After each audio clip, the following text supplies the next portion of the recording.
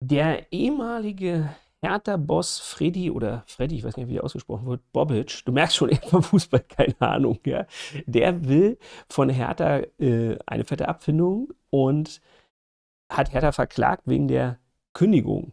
Da habe ich jetzt so ein paar Pressemeldungen gesehen, wo einiges durcheinander geht. Ich will das mal als Aufhänger nehmen, euch so ein bisschen die juristischen, die arbeitsrechtlichen Hintergründe vom Fußball, wie gesagt, habe ich keine Ahnung, da will ich nichts zu sagen, ja, aber die in solchen Fällen, wenn jetzt so Führungskräfte, sagen wir mal so, gekündigt werden, die da typischerweise problematisch sind. Das kann man nämlich an diesem Fall Bobic äh, sehr gut sehen und werde euch so ein bisschen die rechtlichen Hintergründe, die sich da möglicherweise abspielen, ein bisschen beleuchten. Und hier haben wir wieder so ein Beispiel, das Journalisten halt natürlich teilweise nicht richtig verstehen und dann in den Artikeln das so ein bisschen schräg rüberkommt. Äh, fangen wir mit der aktuellen Meldung an, die, die ich da als Aufhänger mal nehmen will, weil das war genau das, wo ich ins stutzig geworden bin und ich dachte mich, das Ding ist längst erledigt. Ja?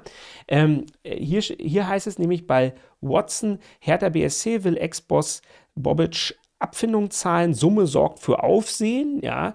Und ähm, da ähm, geht es dann in dem Artikel darum, dass ähm, hier ein Angebot gemacht worden ist und ähm, der äh, äh, es heißt dann hier so schön, Bobic klagte vor Gericht, doch der Prozess dazu findet erst Ende Februar 2024 statt. Hä?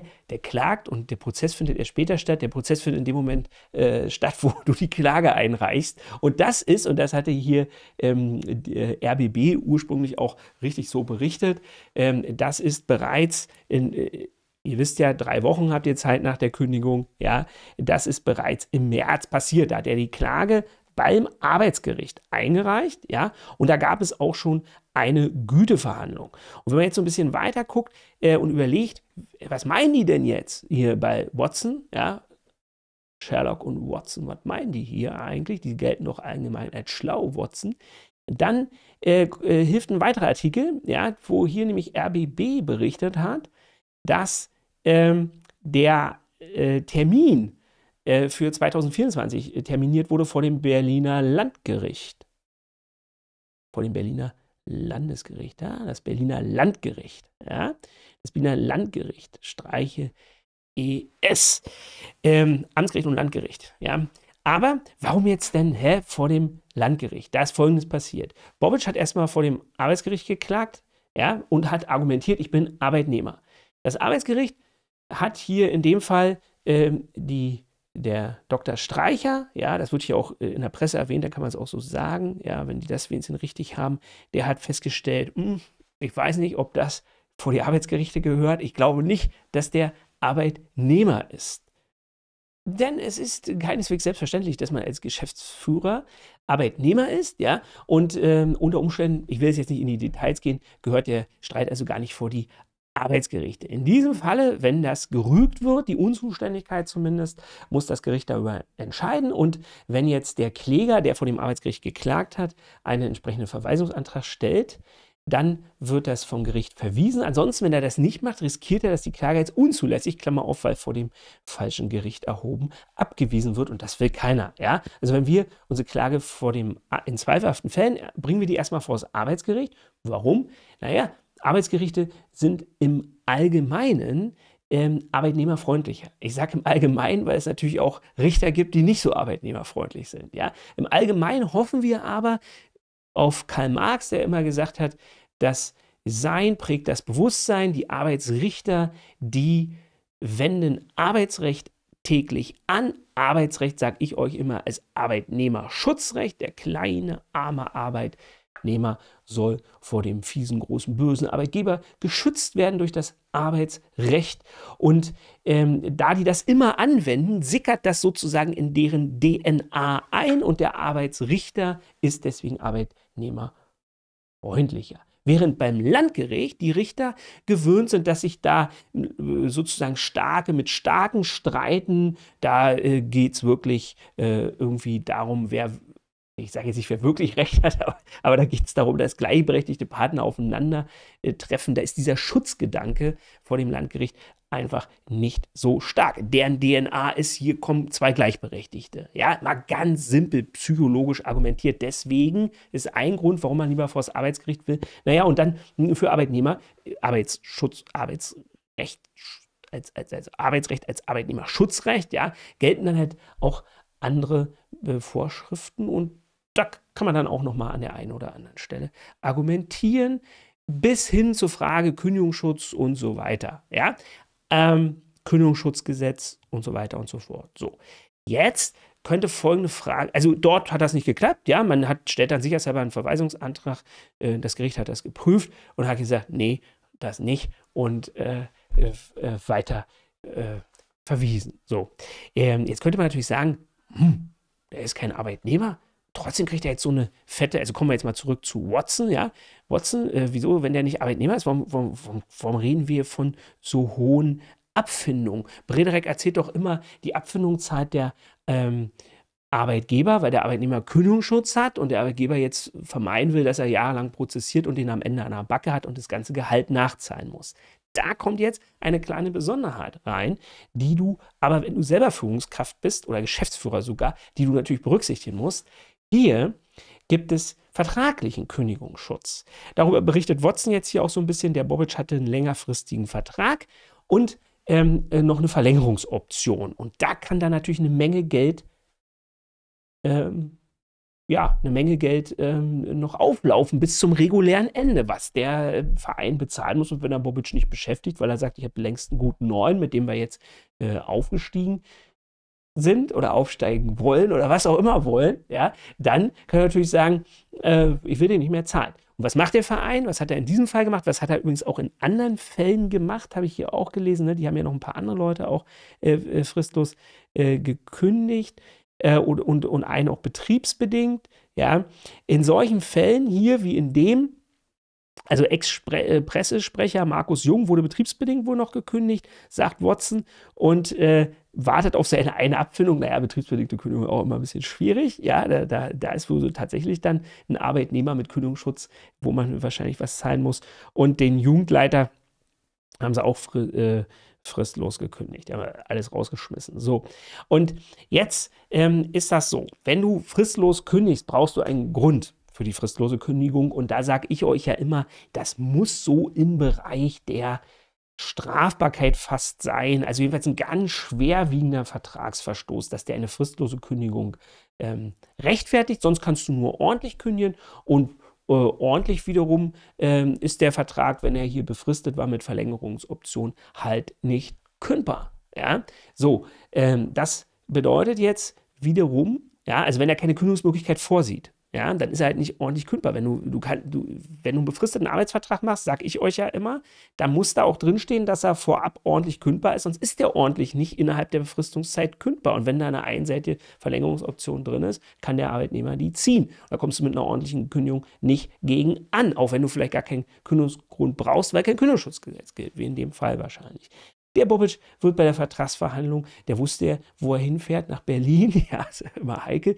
Äh, wenn, man, wenn man jetzt, weiß ich, woher kommt, dann ist das vielleicht heikel. Ja, ähm, insofern wird er schon genau geprüft haben, oder seine Anwälte, worauf sie sich da einlassen, sodass wir jetzt mal davon ausgehen können, der ist safe, der ist also nicht ordentlich kündbar. Du brauchst also einen Grund für eine fristlose Kündigung. Nächste Frage, haben wir so einen Grund? Da berichtet ja Watson so ein bisschen äh, drüber, was, die, was da äh, so passiert war. Nee, Watson war das nicht. Das hatte wiederum der RBB berichtet ähm, und äh, war, war hier zu dem Ergebnis gekommen, dass es wohl um eine Weitergabe vertraulicher Informationen aus Verhandlungen mit dem US-Investor äh, 70, 70, 70, nee, 7770 oder was auch immer, 770, 700 Partners gehen soll, ja, also ähm, hier irgendwelche Weitergaben, ja, dazu kann man immer sagen, ähm, mit Weitergaben ist das immer so eine Geschichte bei Verhandlungen. Da muss man ja Informationen geben, wenn man Verhandlungen führt, ja,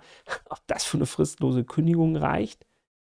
Dann soll der, äh, und das könnte schon eher ein Problem sein, dann soll der einem Reporter ähm, äh, Schläge angedroht haben. Wenn du nochmal fragst, kriegst du eine gescheuert, sagte der 51-Jährige im Weggehen zu dem RBB-Reporter. Ähm, Ja, das ist schon was, was man von einem Trainer nicht so erwartet. Aber auch hier muss man wieder sehen, das war eine Derby-Niederlage gegen Union Berlin am 28. Januar. Und liebe Fußballfreunde, seht es mir nicht, seht mir nach. Ich weiß auch nicht, was man sich über so ein Fußballspiel. Also ich bin der, der es am meisten versteht. Was soll man sich darüber unterhalten? Wenn du gewonnen hast, hast du gewonnen. Dann quatschen die alle, wie toll du gewonnen hast. Und wenn du verloren hast, hast du verloren. Dann kannst du auch nur sagen, wie schlecht das war. Aber was will man da so viel sagen? Und wenn dann immer wieder die gleichen Fragen gestellt werden, dass jemand nach dieser Anspannung und dieser Niederlage mal dann die Nerven verliert. Ich meine, der ist ja nicht auf den losgegangen und hat ihm eine gescheuert, sondern er ist einfach verbal ausfallend geworden. Ich persönlich würde sagen, das ist ein Fall für eine Abmahnung. Ja, das auf jeden Fall. Das ist auch ein Pflichtenverstoß. Aber ich hätte erhebliche Zweifel daran, dass das für eine fristlose Kündigung reicht. Aber ausgeschlossen, für ausgeschlossen halt es auch nicht. Also probiert hätte ich das, wenn ich den loswerden will, hier anstelle von Hertha tatsächlich auch. Das muss ich ja ganz klar sagen. Ja? So, dann äh, gibt es noch äh, eine weitere Geschichte wohl, ähm,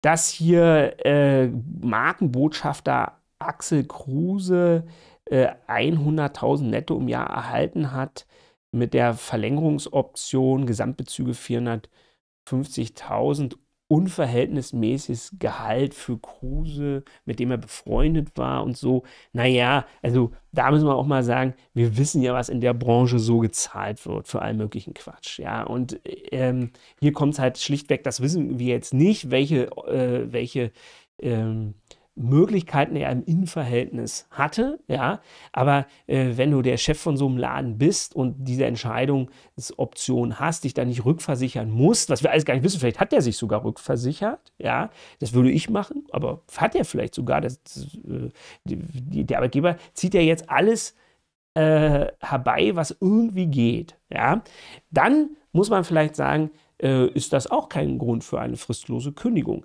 Nur weil du jemanden anheuerst äh, und ihm dann für eine Leistung etwas bezahlst, bist du nicht im Bereich von irgendeiner Untreue, Strafbarkeit oder sonst was. Ja, und von Strafverfahren haben wir jetzt hier auch ja nichts gehört. Das wäre ja sonst eine Frage, wo man, äh, mit, wo man theoretisch ja auch eine Anzeige machen müsste, sogar unter Umständen als Geschädigter. Ja, weil diese, die Verantwortlichen bei Hertha sind ja auch äh, verantwortlich für, äh, für das Vermögen von Hertha. Hat man jetzt, also habe ich jetzt zumindest hier nirgendwo gefunden, ja, äh, so dass man sagen muss, ähm, die Idee, das Ganze hier mit einem Vergleich zu beenden, sprich dem was zu bezahlen, ist wahrscheinlich nicht die schlechteste.